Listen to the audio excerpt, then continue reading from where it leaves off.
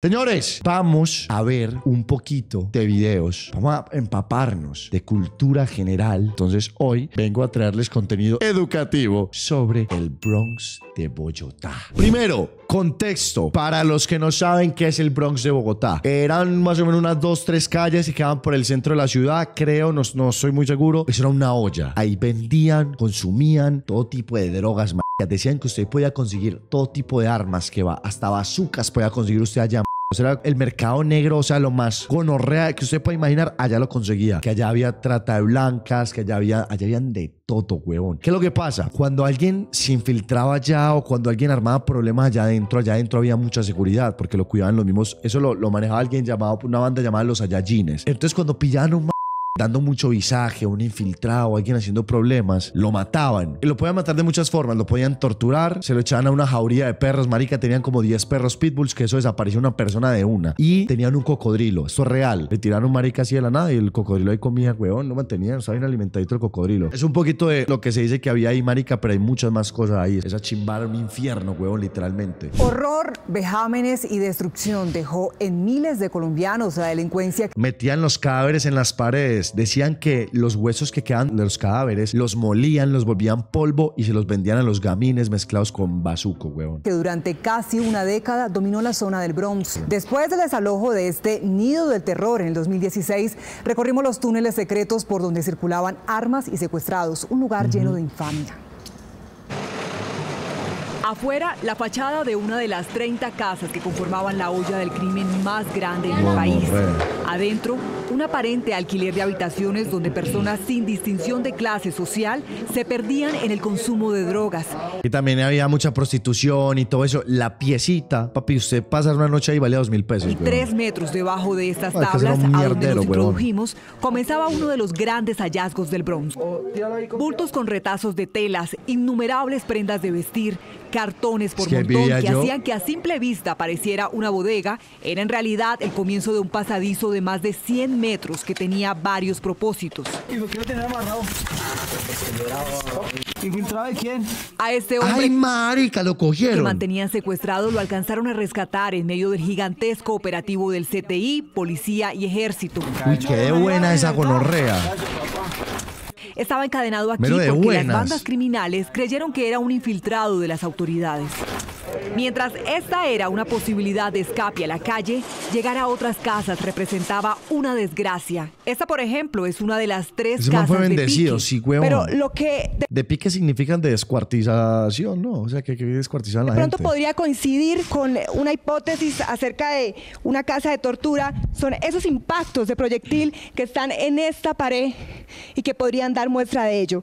El olor realmente es insoportable. Ah, gas, Aquí hueputa. una cifra desconocida de colombianos y extranjeros y hasta dos agentes del CTI de la Fiscalía permanecieron secuestrados y torturados. Y estas fotografías evidenciaron los crímenes que allí realizaban. Tenemos información que los herían y prácticamente lo echaban a los perros para que se los comieran vivos. Los, Los hallazgos también evidenciaron prácticas de satanismo en el Bronx.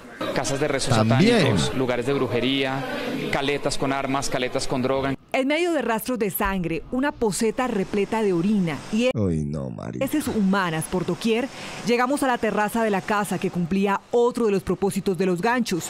Su ubicación estratégica representaba una visual privilegiada para los sanguinarios ayayines. y pudieran eh, conocer con la ayuda de los llamados campaneros cuando las autoridades Los campaneros eran los que se hacían arriba, en las terrazas de arriba de todos los edificios y eran como los que ponían cuidado y los maricas siempre estaban armados. podrían llegar o alertarlos para interrumpir su acción criminal. Meses Eso más tarde que fue de el día que se intervención de metió las la policía, autoridades ajá. y la demolición de las viviendas, varias canecas con ácido fueron halladas y ratificaron que quien entraba aquí no salía con vida y sus restos disueltos. Echaban en ácido. Otros sepultados en cemento.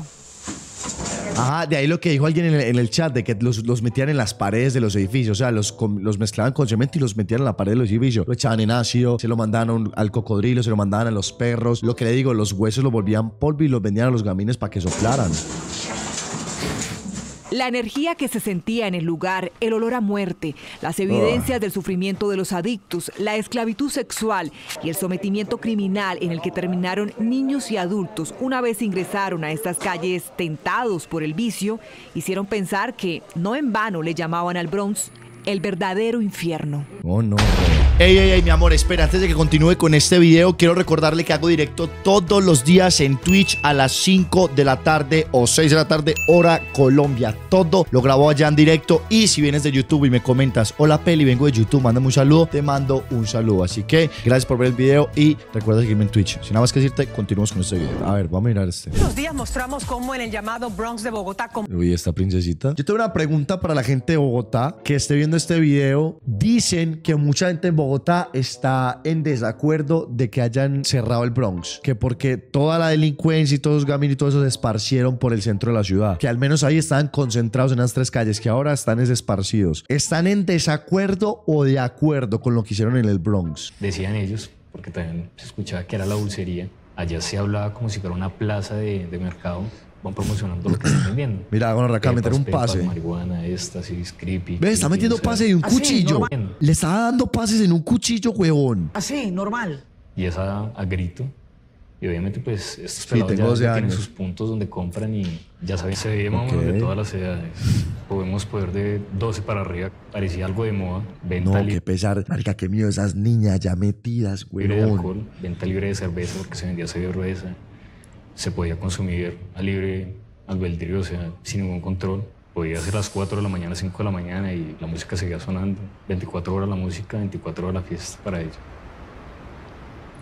Los carros de las historietas estaban pintados sobre paredes verdes, oscuras, en el mismo cuarto donde niñitos y niñitas de 11, 12 y 13 años entregaban sus cuerpos a cambio de una dosis de bazuco o por una pastilla de éxtasis.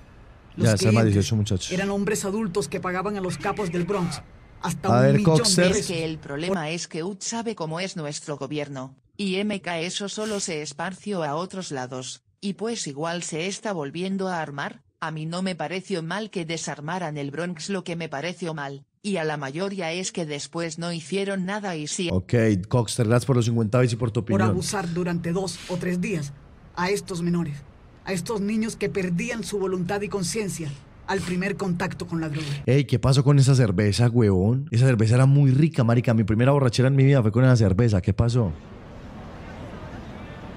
Uy, no, qué gonorrea. Un cuento de horror que de cómics o de dibujos animados no tenía nada.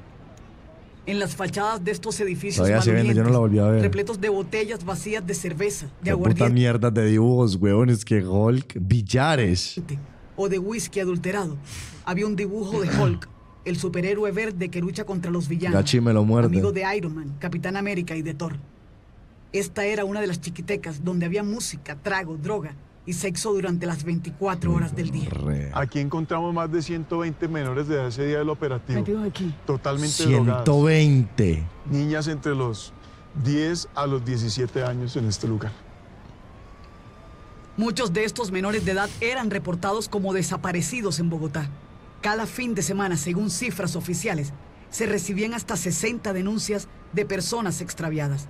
Esta cifra, después del operativo en el Bronx, ha disminuido hasta en un 70%. Sí, qué rico de buche, oye, no También hay evidencia de que aquí adentro... A ver, por favor, sáquenme con vida de aquí. Me quieren hacer daño a mí y mi mujer. Estoy en, lo, en la ventana mm, y, la, y la vitrina. Gracias, ojo, tendido en el piso. Hay personas delicadas arriba y piensan que yo soy sapo. ¡Ay, gonorrea! Dentro mantenían a personas secuestradas. Se encontró esta carta escrita a mano donde un hombre pide ayuda a gritos para que lo rescaten. Dice que lo van a matar porque creen que es sapo. Y aquí afuera deambulaba un ejército de hombres armados, conocidos como los Saiyajines, un nombre copiado de la serie infantil de Dragon Ball.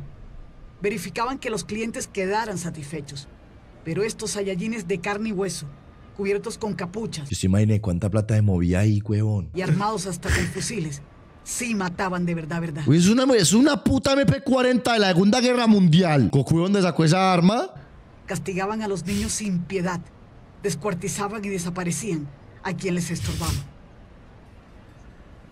Se mezclaban con todos, con Es una puta MP40, huevón. Enfermos mentales, ancianos, prostitutas, indigentes. Este esquema de seguridad que se hacía llamar allá, que eran los Saiyajines. Es que la del free. molestar al que no tenía que molestar y o lo veían uno llamando la atención. Obviamente, pues.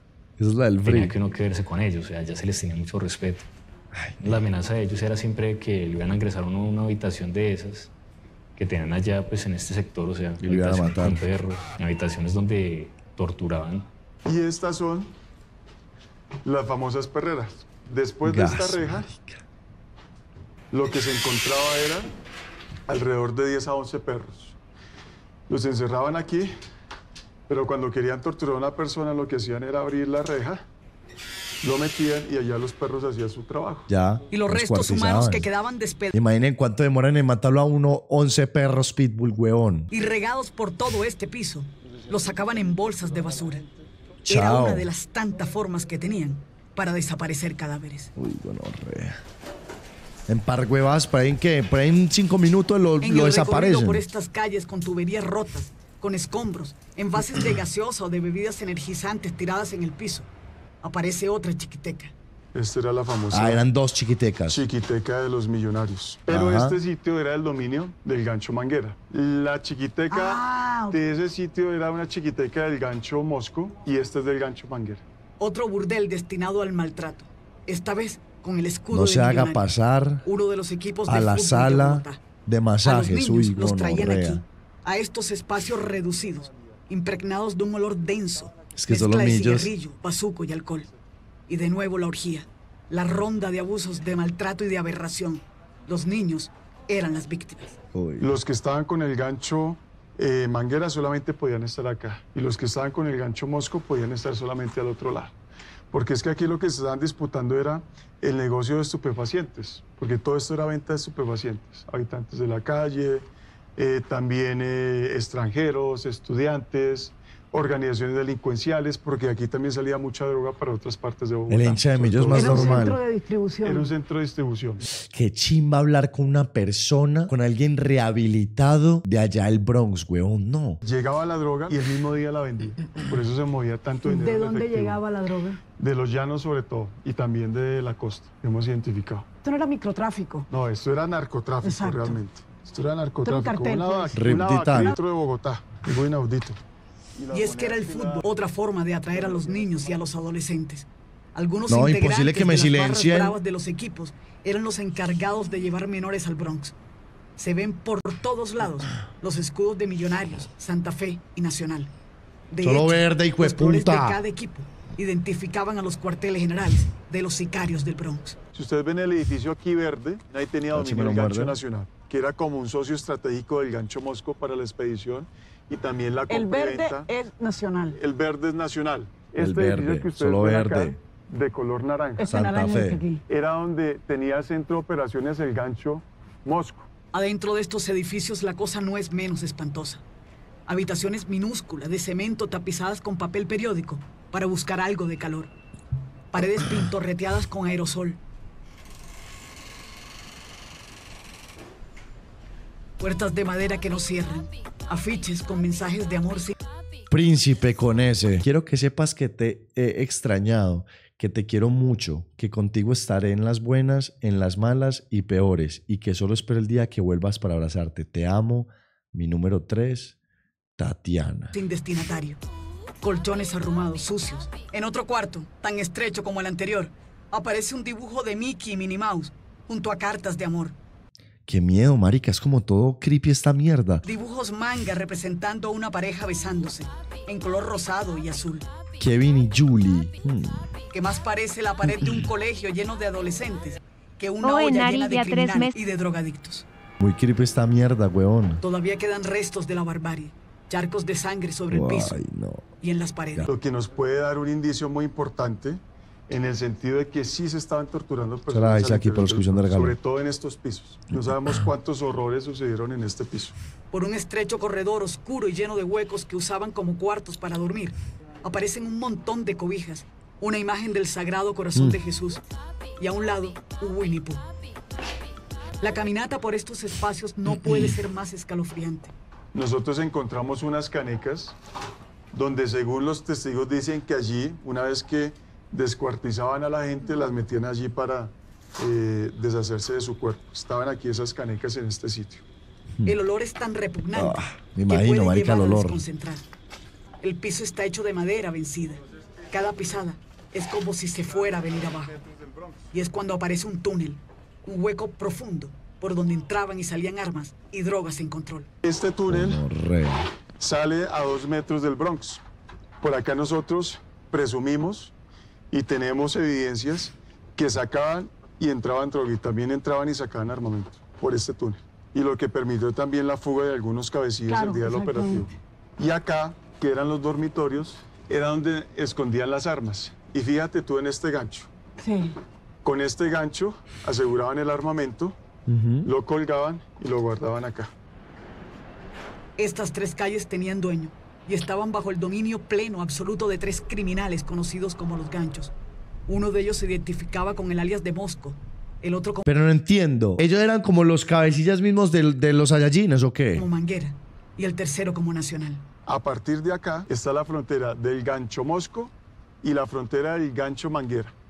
Y toda la actividad delincuencial de aquí en adelante era del gancho Manguera. Entonces ellos también tenían un fortín, que era un edificio, Eran los que jefes de los este, entiendo. donde ellos tenían su centro de operaciones. Y como si fueran la autoridad, cada uno de ellos tenía su cuartel general con puertas blindadas o redobladas. María, creo que me, parece- me parecería muy interesante ir allá, huevón. Cada uno de ellos tenía un ejército privado de sicarios o de matones. Residían los famosos Saiyajines del gancho Manguera. De este sector. de este sector. Acá encontramos armamento largo, corto, encontramos droga. En esta azotea estaban ubicados los famosos francotiradores. Podían estar vigilando las tres Habían francotiradores, huevón. Aparte de los cuarteles Uy, generales de los ganchos, de las chiquitecas, de las perreras, de las piezas minúsculas, de tiendas y máquinas tragamonedas, había dos hoteles, las Américas y los Trabados. Y todos Los con el mismo trabados. fin. Mira, amanecidas 10.000 y 12.000. Una hora 4.000. Media hora 3.000. Servicio de baño 500. Servicio de ducha 1.000. Colchón 3.500. Sexo con niños. Estos hoteles de acá y también Ah. aquí, que estas son unas residencias, eran utilizados para tener relaciones sexuales con los niños que salían de la chiquiteca. Esto se llamaba el Hotel Las Américas, de dominio del gancho Manguera. Lo comparaban allá muchas veces con Las Vegas. Ellos decían que esa era Las Vegas de, de Bogotá. A lujuria completa. Era una especie de mercado cruel, lujurioso, donde al mejor postor o a cualquier postor se vendían niños, niñas, prostitutas, transexuales y claro, droga y trago. Mm. Uy, los informantes era chimba, weón. Los informantes era chimba. A ver, veamos el video de Lethal. Este man era uno que eh, estaba en el Bronx, pero el marica se rehabilitó. policía o algo, ya eras lo que llaman aquí sapo. Y los sapos no los quieren en ningún lado. Otra vez usted, otra vez usted. Ya cuando de verdad la cometías o te metías con alguien que no debías, te traían ellos mismos y te entregaban a los desaparezcan este man. Ah, o sea, la misma policía decía- Sí, la misma, lo que se movía, eso era el contexto de aquel entonces. Los huesos que no se derretían o que no se desaparecían los molían y los mezclaban con la droga. Lo que les tú conté ahorita. ¿Qué pasa? Es que estamos. Vale. Bueno, gente, bienvenidos a un nuevo vídeo. Acabamos de llegar a Colombia, estamos en ¿Eso en qué año fue? Hace cuatro, antes de la pandemia, 2019. Bogotá y hemos decidido hacer algo que en principio no se recomienda, pero tenemos el contacto. Nos encontramos en el famoso Bronx de Bogotá, o lo que fue, ¿no? Porque Lo esto ha sido fue. vaciado hace un par de años. Nos disponemos a entrar en el mayor mercado de la droga de Sudamérica. Nos acompañan Dani y la mujer de confianza de uno de los siete jefes del Bronx. Vale, como digo, aquí no entra nadie, nos han abierto el cordón, que hay un cordón policial en estos momentos para poder entrar, porque venimos con Gabriel, que estuvo aquí ¿Qué hace, ha salido de aquí hace dos años, estuviste dentro de lo que era el Bronx, y con el sargento Portilla, que es quien Gracias. nos ha abierto el cordón. Gracias. Vale. Pues, ¿qué se les puede contar? Eh, un espacio es complejo, volver ingresar después de varios años. Habité este espacio aproximadamente durante siete años. Hoy en día, pues, estoy resocializado y hacemos parte... No tiene para nada. pi- O sea, usted me dice, este man hace años. Vivía aquí en el Bronx durante siete años metiendo vicio. No parece, huevón. funcionario público con la Alcaldía Mayor de Bogotá en la parte de Secretaría Social. Bueno, lo primero yo creo que sería explicar para alguien a ni idea de Para qué era nada. el Bronx, explicar un poco qué era o qué era lo que se movía aquí. Bueno, ¿qué se movía en el bronce? El bronce era como la república independiente de consumo de las drogas. Aquí, ¿qué pasaba? Aquí era el punto de venta más álgido de, drogas de la ciudad de Bogotá. O sea, aquí conseguías lo que quisieras y era el espacio para consumir. A partir de esas rejas no podía entrar, pues no podía, sí podía, pero no entraba la policía. Esto estaba registrado como zona de tolerancia, como tal.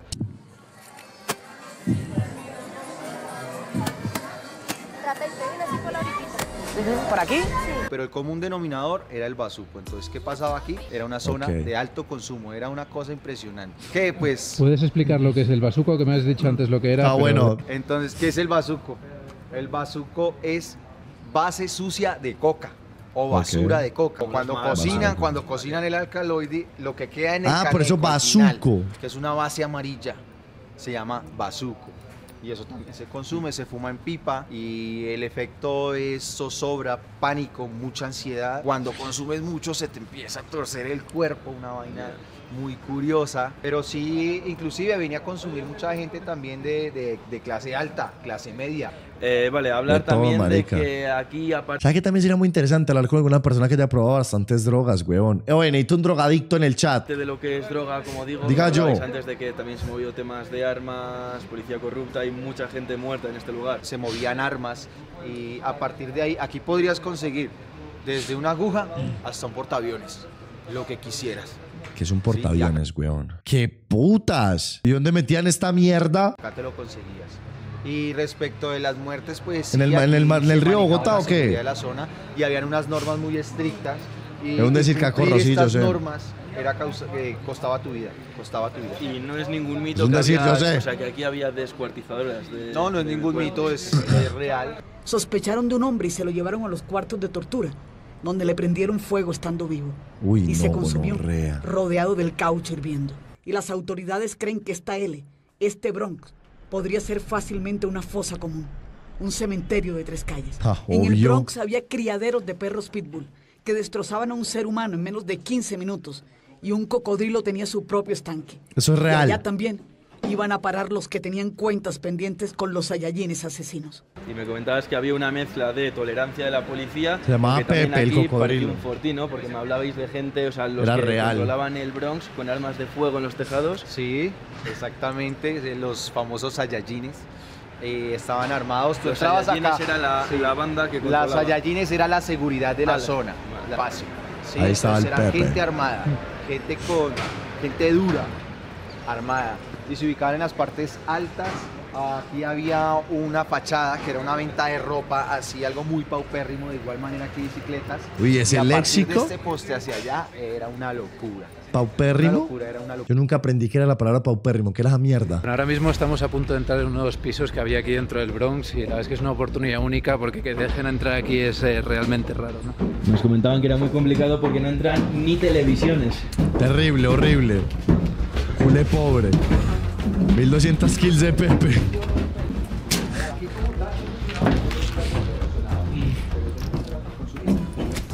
Pepe traiga, hay que contar nucleares y ahora se acaba con Orrea. Muchas gracias, Tiago, por la suscripción con Prime. Voy a consumir. Ya dos meses de su cara de fiesta, cara de fiesta, cara de fiesta. Pagabas dos mil pesos y entrabas y en esas Muchas gracias, papi. Dormías. Ya ves. Ya las consumías por una noche. ¿Sabéis decirnos eh, cuántas personas había aquí dentro del Bronx, más o menos? Aproximadamente el dato, como en 2.000, 3.000 personas. 2.000, 3.000 personas al día. gonorrea. El Bronx eran... Diarias, pero era un tránsito de personas, era tránsito de personas entrando, saliendo. 2.000, 3.000 diarias. Es que Pepe en su prime. Estamos en el tejado de una de las casas del Bronx. Las personas que cuidaban el Bronx. Este era el sitio utilizado como guardias. Como guardias. O sea, lo, cuando, o sea, cuando hablabais antes de estos hombres armados que eran en tejados como este ah. en el que estamos. Y todo esto que se ve vacío ahora mismo, decir que no es o sea, edificaciones. Son edificaciones todo que se ha vaciado. También funcionaba también como... A esta, casas de. Vea, cuando, cuando Letal fue, ya habían tumbado un montón de mierdas. edificaciones. Son edificaciones todo que se ha vaciado. También funcionaba también como... A esta, casas de consumo. Eh, ¿Tú dirías que se están dando buenos pasos hacia la limpieza y eh, para terminar con la droga de una vez por todas. Esta respuesta del policía me da tanta risa, weón. No se puede terminar, por supuesto, pero sí que es verdad que... O sea, le pregunta como, hey, ¿qué están haciendo para la droga? Y es que no, estamos haciendo unos talleres con la alcaldía. Que Colombia está mejorando en ese aspecto, ¿no? En el aspecto de la recuperación de las personas que Actualmente se encuentra en la drogadicción el distrito de Bogotá, en cabeza de nuestro alcalde Peñaloso y en cabeza de nuestro general Joder Penilla, que es el comandante de la policía, está adelantando unos talleres a nivel de Bogotá de recuperación de estos jóvenes para que se integren a la vida. En este momento, millonario público de la Alcaldía Mayor de Bogotá es recuperar persuadir a estos muchachos de forma positiva que tomen la decisión de deshabitar la calle. Bueno, a ver, un caso es él, que duró siete años en el Bronx y ahorita está trabajando en la alcaldía de Bogotá. Ejemplo, ¿no? Exacto, a partir del buen ejemplo, para que esta gente o esta... Qué chima, marica. Estas personas, estos seres humanos que están metidos en este cuento de la droga, que los lleva a habitar calle, tomen esa decisión de dejar la droga y con esa decisión de dejar la droga, dejar la calle. Esta es la parte más, más fuerte del Bronx. Ah, está en esta parte. Esta es la parte más fuerte del Bronx. Vean, ya habían tumbado, cuando Letal fue, ya habían tumbado un montón de vueltas. ya menos que hoy no hay nada. Totalmente en ruinas. Pues mi hermano, empezábamos por acá, gancho nacional, eran rocolas, aquí teníamos un pedacito de mosco, pero el mosco digamos que era acá, cerca de frente a los muros verdes, y enfrente teníamos millonarios, el que antiguamente se llamó Gancho Homero, que hicieron un proceso de investigación y llegaron a la conclusión de que supuestamente aquella cámara Sí, esta que estamos viendo justo ahí. justo aquella cámara no servía. Desapercibía de eso, se desprevenía. Pero todo el mundo confiaba en que eso no grababa. en que eso no servía. Pero efectivamente la cámara servía y sirvió para, sirvió para efectuar el operativo y para situaciones de judicia. ¿Qué le hicieron a Pepe? ¿Alguien sabe qué hicieron con el cocodrilo Pepe? No creo que lo hayan sacrificado. Imagino que lo mandaron por un zoológico o alguna mierda así, ¿no? Pues ya veis, gente, hemos entrado hasta el corazón del Bronx.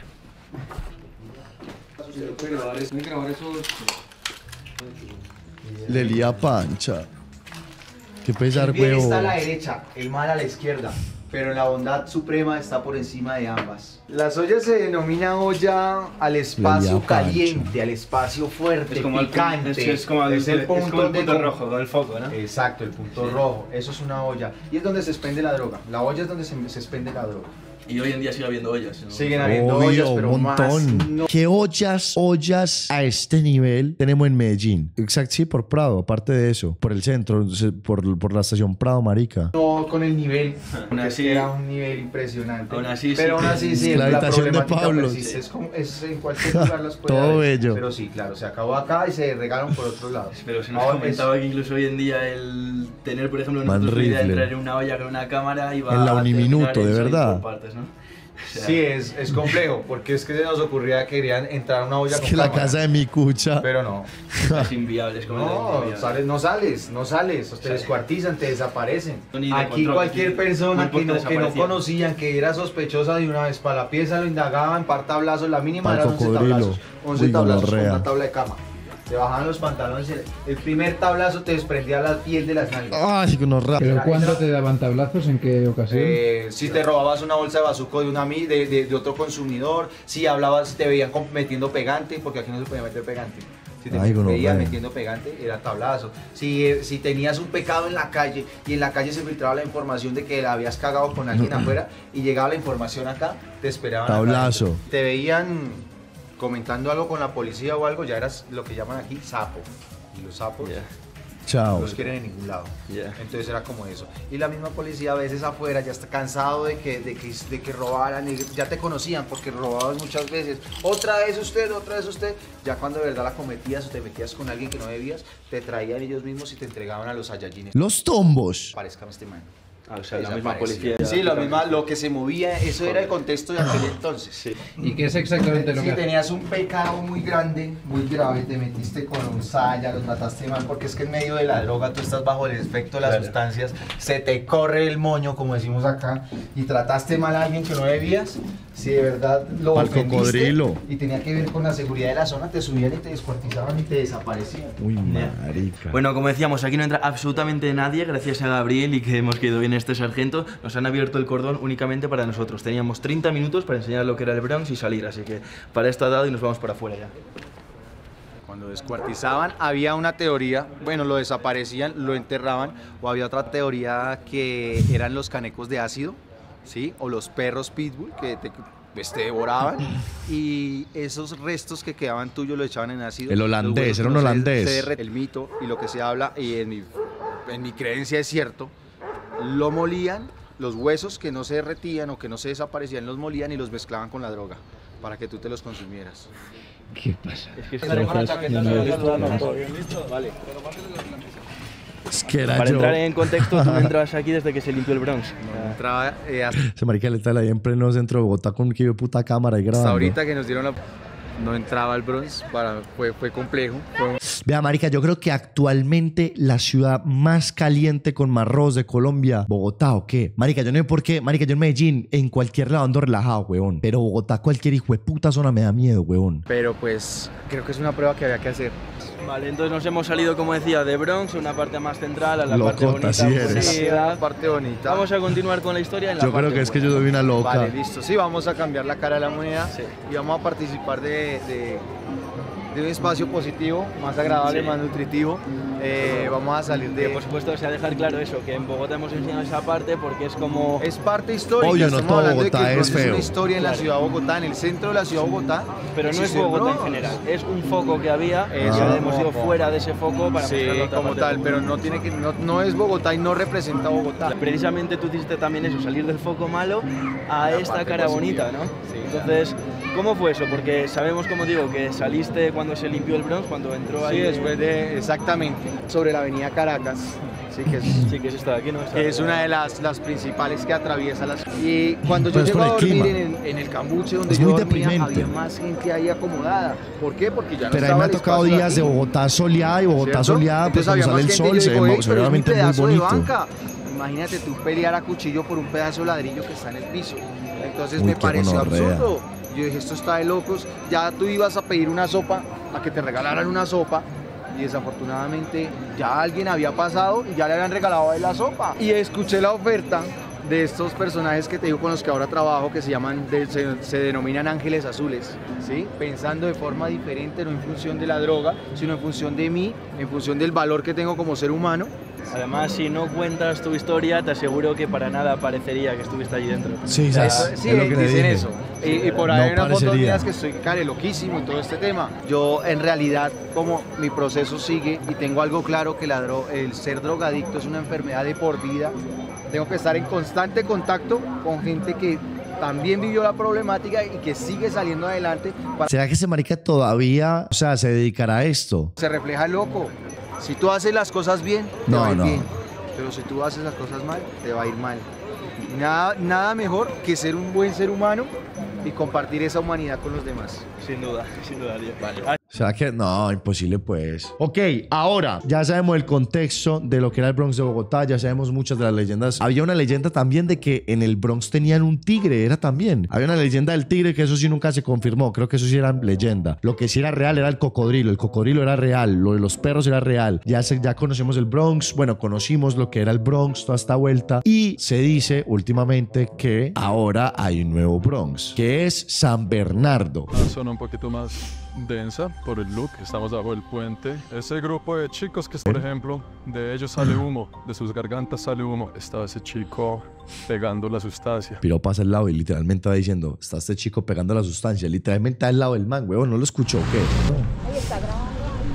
Ay, Bienvenidos marica. sean a la ciudad de Nuestra Señora de la Esperanza, también conocida como Santa Fe de Bacatá, o solamente Bacatá, o simplemente Bogotá. Bogotá. o Santa Fe de Bogotá. Una ciudad que con más de 400 años de historia ha cambiado de nombre tantas veces como las que acabo de mencionar. Hoy en día, mundialmente conocida como la capital de la República de Colombia, la linda ciudad de Bogotá. Si usted le pregunta a mi abuelo, él vivió en una ciudad llamada Santa Fe o Santa Fe de Bogotá. Si usted me pregunta a mí, yo viví en una llamada Bogotá. Dependiendo de a quién le pregunte, el nombre de la ciudad cambia con los años. Datos curiosos que. Bogotá tiene lo suyo, huevón, Bogotá tiene lo suyo, no nea. sirven para nada, pero que enamoran. Mi querida sede de Bogotá, pues es uno de los lugares más turísticos de Colombia cuando la gente viene a visitar. Es la ciudad grande del país. Más de 10 millones de personas viven aquí. Es la Atenas Mejor que mierda, yo sí. No, obviamente muchos mejor que mierda, yo el no es. epicentro de muchos momentos culturales del continente. Por dar un ejemplo, uno de los conciertos más grandes ¿Cuál? gratuitos del continente llamado Rock al Parque y así sucesivamente. Ah. Aquí por detrás de mí, la casa del presidente, por allá está don Gustavo Petro haciendo reformas a la salud, según me indican, por eso es que hay tantas manifestaciones aquí. Y por detrás, nuestra querida catedral, que ha sido reconstruida más de tres veces a lo largo de su historia. Y muchos turistas vienen por aquí a pasear sus calles sin saber que en este momento aquí en la Plaza de Bolívar, a unas cuadras encontramos todas las caras turísticas bonitas de la ciudad, pero a unas otras encontramos muchas realidades que no nos cuentan de la misma. ¿Dónde era el este Bronx? Ah, pero espere, San, San Bernardo, ¿dónde queda, huevón? También queda cerquita del... Que nadie te muestra. La cara de Bogotá a la que están expuestos muchos turistas que tal vez sin conocer se meten en el callejón equivocado. en esos callejones equivocados a los que nos vamos a meter ustedes y yo para explorar las dos caras de esta ya, ciudad. no peleemos, no Bienvenidos. Una de las actividades más populares aquí por... Alimentar palomitas. milenios ha sido venir a alimentar a las palomas. Te compra el maíz en estas bolsitas a alguna señora que esté por aquí alrededor. Véala, allá está la señora. Ella lleva años aquí vendiendo para que los turistas vengan a alimentar a las palomas. Actividades de tradición, de entretenimiento cultural de la ciudad. Creo que yo una vez, ah, pero no fue en Bogotá, fue en Cartagena, marica. En Cartagena también hay una plaza como llena de palomas. Yo no le estaba dando maíz con los reyes y me montaron encima, marica, en la cabeza y me cagaron. Le recomiendo que palomas. De la hacia allá me cagaron la cabeza, la Es lo lindo por conocer. Uno de los lugares más turísticos, por ejemplo, la famosa Puerta Falsa, uno de los restaurantes más antiguos de la ciudad. La gente viene mucho aquí a comer las cositas 1816. ricas del lugar. Y aquí la Candelaria. Pero para allá no es que vamos. Y le recomiendan que no se meta hacia el costado sur de la catedral, que es todas las calles que hay de aquí para atrás. Esto atrás mío se llama la décima. Y si caminamos unas cuadras, llegamos a un lugar llamado San Victorino. Un lugar legendario, San Victorino, muy sí. viejo, muy típico y muy Hasta yo sé qué es eso. Pero también conocido por tener No sé dónde queda, pero sé qué es eso. No recomendado para turistas o para locales que no conocen bien. Vamos a ver de qué se trata ese tal San Victorino, que nos queda justo en el camino hacia adelante. Y este marica se irá a meter con cámara por allá, weón. calle del Bronx, un lugar que también vamos a esculcar en el video de hoy. Está saliendo de la Plaza de Bolívar, que es la calle de... También es conocida como la calle del divorcio. Y allá de fondo se ven unas sombrillitas y se ve mucha acción. Aquí sobre la calle décima vemos dos franjas negras al lado y lado sobre el piso. Y eso es para recordar que este fue el primer acueducto de la ciudad. El acueducto consistía en un canal aquí donde la gente venía a tirar todos sus desperdicios al lado y lado. No era muy sanitario, creaba muchas enfermedades, muchas moscas, mucha vaina. La gente venía y tiraba la mierda ahí. Cuando usted venga a Bogotá y vea esto aquí, allá de fondo queda la Plaza de Bolívar, ya sabe de qué se trata. Aquí cruzando. La gente iba a cagar una bolsa y la tiraba ahí. ok, Lore. se den cuenta de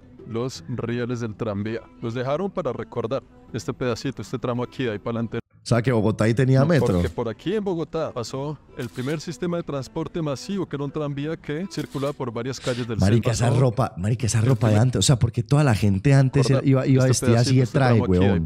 No, porque... O sea, vea, todos, todos los cuchos eran de traje, por. Aquí en Bogotá pasó el primer hasta los niños, vean, vean ese niño disfrazado como marinerito. Bueno, disfrazado no, uy, uno era Hitler. Pero sí, o sea. Sistema de transporte masivo, que era un tranvía que circulaba por varias calles del centro de la ciudad. Estamos atravesando la carrera décima con calle décima. Los este Peaky Blinders. Sería San Victorino, uno de los sectores más comerciales de la ciudad. En la historia de Bogotá ha habido siempre muchas zonas afectadas que la ciudad intenta recuperar, pero cada vez que se recupera la zona salen otras y salen otras. Hablo de la famosa calle del Cartucho que ya no existe, la famosa calle del Bronx que ya no existe. En esa calle del Cartucho, por aquí en la esquina que quedaba, ahora construyeron un parque. ¿Qué era la calle del Cartucho? Vamos a ver qué es lo que hace Bogotá cuando recupera estas calles de la ciudad. El Gran San, todo esto son bodegas de ropa, sobre todo ropa hecha en Medellín, que allá es donde hacen muchísima ropa en Colombia.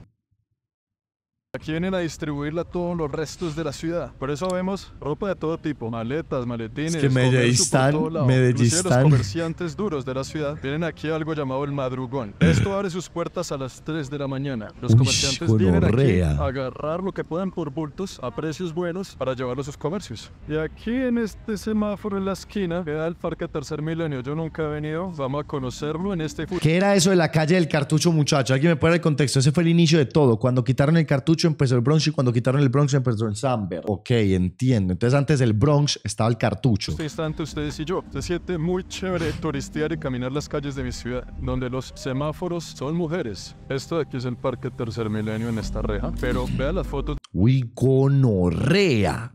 De cómo lucía esto antes. Era la calle del cartucho. Uy, marica. Una de las zonas más peligrosas de la ciudad. Hoy en día, pues, aquí alrededor tenemos algo llamado la calle de los cachivaches o los cachivacheros, se conoce popularmente. Eso... Me un marica que yo que sé que en la universidad conocí una noviecita, ta, una pollita, le gustó, la cuadró y la pollita vivía en la calle del cartucho, weón. Son lugares donde se vende de... La chimba, yo la termino. Qué miedo, marica. O sea, ropa de segunda, lo que se encuentre la gente por ahí viene aquí a vender. Pero también aquí, pues entre ustedes y yo, son lugares ah. que son propensos a que se lleven a cabo otro tipo de actividades. Otro tipo de comercio un poco más ilícito. Ustedes saben de lo que estoy hablando. Se vende esta bicicleta. Robada. Se venden cascos para bicicletas. Se venden botellas de alcohol desocupadas. Esta es una de las entradas al parque, pero está cerrado. Yo no sé si de pronto dando la vuelta por allá podamos entrar a mirarlo un poquito por lo menos. Es... La otra vez, yo, yo iba caminando por una estación del metro, algo así, llegó una gonorra revisajoso. Es que monito, monito, venga, quédeme 300 lucas ya y le vendo este celular. Marica, era un celular, en esa época, un Samsung J5 que recién se había robado esa gonorrea. Tenía toda una foto de perfil como de una vieja con la, con la hija, algo así. Y yo, uy, esta gonorrea lo acaba de robar ya lo está vendiendo. Monito, monito, 300 luquitas ya de este celular. En la montaña que se ven esas casitas, por allá es el barrio Belén. Aquí abajito queda el barrio de las Cruces. Y todo esto aquí son barrios muy populares de la ciudad. Populares porque tienen mucha historia. De los primeros barrios de la ciudad cuando fue fundada. Porque la ciudad cuando fue fundada tenía solo 12 casitas y una iglesia. Fue creciendo y fue creciendo. 12 casitas. Tiene más de 10 millones de personas.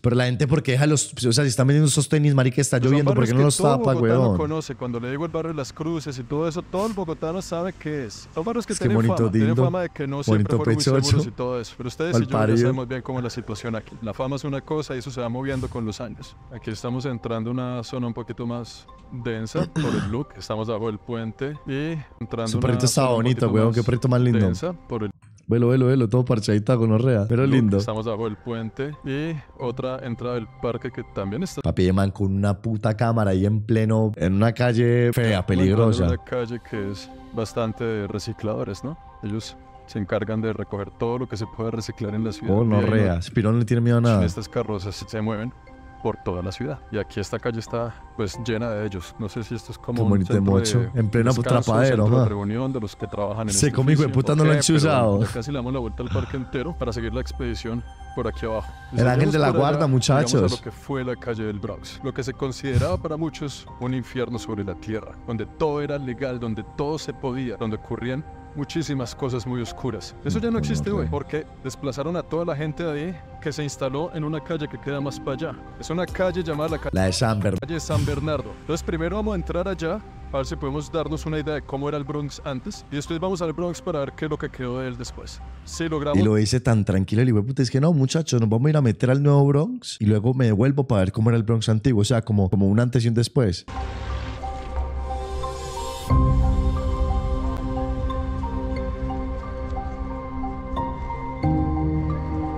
Que un Johnny Aquí, caminante. entrando por el barrio Campo David, después de atravesar la calle, ya se siente un poquito más la tensión. Se ven pues varios habitantes de calle al lado y lado. Voy a esconder la cámara pues para pasarte. Velo, velo, velo. Mira cómo lo ven estos dos. Claro, yo sí decía que tenía las guadas muy bien puestas y entraba con la cámara así. Bueno, a ver, eso, eso, ya no es, eso ya no es tener las guadas bien puestas. Eso es ser estúpido, huevón. Entrando aquí por esta cuadra, comenzamos a ver mucho más movimiento.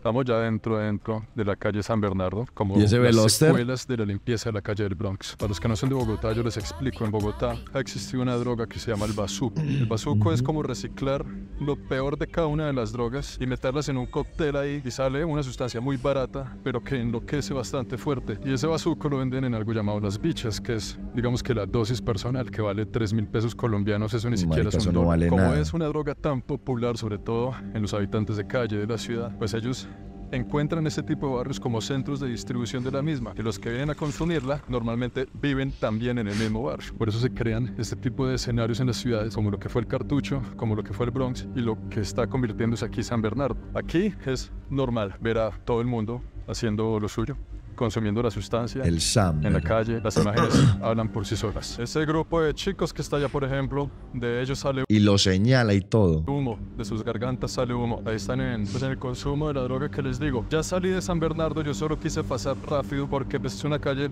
bastante complicada, no me puedo demorar mucho ahí, sobre todo con una cámara. Pero sí, bien, no es estúpido, no es estúpido. Para que vean a escala menor lo que se vivía en el Bronx, que fue donde se vivió a escala mayor. Esto es una secuela pequeña. El olor que se vive aquí, de allá hay un personaje tratando de saltarse la reja para entrar a Transmilenio sin pagar. Obviamente eso es una estación de Transmilenio que, ah, está pegada aquí a esta calle y la gente se salta. Y vea otro, vea otro para no pagar el ticket. Es, algo que se ve mucho aquí, sobre todo en esta sección de la ciudad de Bogotá, ¿no? Estaba yo aquí caminando y vino un oficial de la policía ah, que me reconoció por estar grabando en las calles de la ciudad. videos. Gracias. Usted se... Cuénteme lo que me estaba diciendo. ¿Usted, ¿Usted a qué se dedica aquí en la región? Yo soy el cuadrante del sector de San Bernardo. ¿Cómo está la cosa ahí? Es difícil controlar la venta de estupefacientes, pero se hace lo, lo que se puede. ¿Y los habitantes de la calle y eso, cómo está la situación? Los habitantes en condición de calle ya hay que entender que eso es un problema de salud pública ya. Sí, sí. Porque es una persona es un que parrolo. enferma y depende de si de esa droga. ¿Y usted cree que esta calle está creciendo de meter allá, Bronx, o, o, está más controlado? No, está más controlado. Sí. Está más controlado porque el Bronx no tiene comparación ahora. Es que el Bronx era otra cosa, ¿no? Sí, claro. Eran dos calles donde no había control. Es que el Bronx era otra vuelta. Gracias. Me alegró saludarlo y conocerlo. Hasta luego.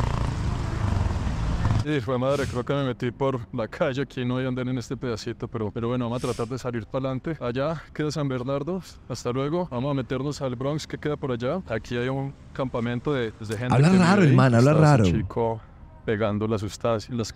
Ah, ya, dijo eso porque el man iba por encima del puente. Sí, porque yo sí decía, este man pasa al lado de este man grabándolo así, diciendo, van, esa color está metiendo bazuco, qué miedo. al bazuco también le dicen el susto, que parece ser que pone a la gente como con esa adrenalina cuando se le pegan un susto. Una cosa loca esa sustancia. A ver si logramos pasar la calle. Un señor en muletas ahí, en los transmilenios.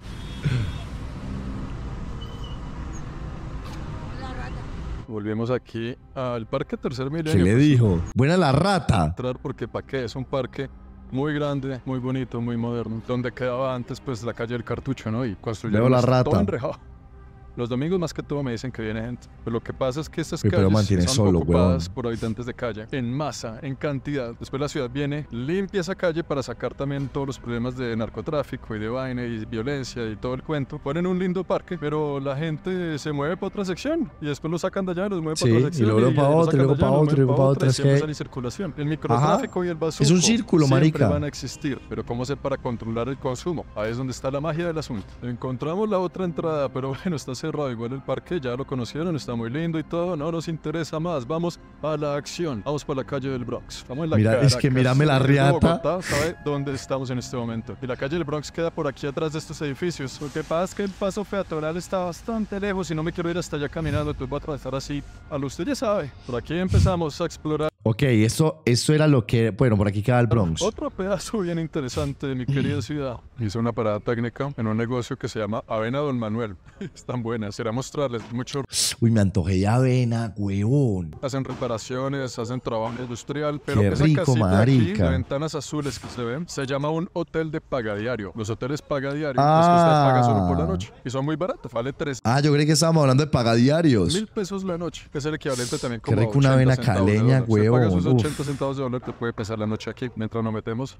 Bien Qué rico, este huevón. Pues vamos a tomar la avenita y nos vamos para allá. Toda esta sección que estamos este es de venta de partes para automóviles. Es todo este barrio de aquí. La calle que acabamos de pasar así cruzándola rápido era una de las calles más famosas en Bogotá porque ahí robaban muchos espejos. Cuando había tráfico, pasaban la calle venían a venderlos aquí. Vendían el espejo y cruzaban la calle allá para cambiar el producido por droga. Y claro, es que todo esto que está cercado es lo que era antes la calle del Bronx. A todos los habitantes de calle los sacaron de ahí y ahora están... O sea, todo esto acá era el Bronx. Ah, o sea, ya tumbaron todo. Edificando para volverlo esto como un proyecto urbanístico. Como hicieron allá atrás con el parque, ahora aquí están haciendo algún tipo de edificios y de cosas. Sí, en lo que alguna vez fue el infierno sobre la tierra en Bogotá. Con tapa, sin tapa. Wow, mira eso por dentro como se El que vaya ahí gonorrea. Sale de ahí con sida, gonorrea y sífilis. Oiga, Bogotá, ¿qué pasó? Uy, marica, gas. Normalmente todas deberían tener tapa, ¿no? Pero como eso tiene unos materiales... Se la roban también. Fundirlo se pueden vender. Lo que hacen es que se la roban, lo venden, ustedes ya saben la dinámica. Uy, no, no. lo puedo creer. Todo esto era el cartucho y quedó el parque que les muestro. Y todo esto era el Bronx y ahora va a quedar como muestra este mapa. Ah, es que literalmente el cartucho era al frente del Bronx. O sea,